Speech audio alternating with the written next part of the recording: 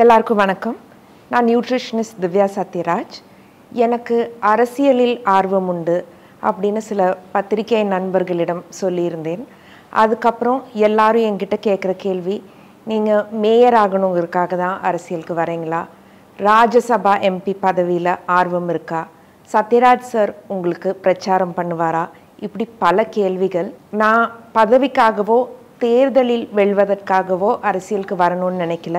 மக்களுக்காக வேலை செய்யறதுக்கு தான் அரசியலுக்கு வரணும்னு நினைக்கிறேன். நான் களப்பணிகள் செய்ய ஆரம்பித்து சில வருடங்கள் ஆகிறது.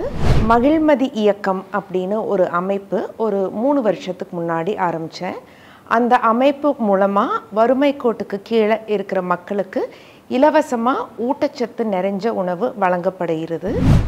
வரும் தேர்தலில் போட்டியிட எனக்கு ஒரு கட்சியிலிருந்து அழைப்பு வந்தது உண்மைதான். ஆனால் எந்த ஒரு மதத்தை போற்றும் கட்சியுடனும் இணைவதில் விருப்பமில்லை. இன்னொரு முக்கியமான விஷயம் நான் தனி கட்சி ஆரம்பிக்க போவதில்லை. எந்த கட்சியுடன் இணையப் போகிறேன் என்ற தகவல் தேர்தல் முடிந்தவுடன் அறிவிப்பேன். புரட்சி தமிழன் தோழர் சத்யராஜ் அவர்களின் மகளாகவும் ஒரு தமிழ் மகளாகவும் தமிழ்நாட்டின் நலன் காக்க உழைப்பேன். I will selflessly work for the health and happiness of my state and my people.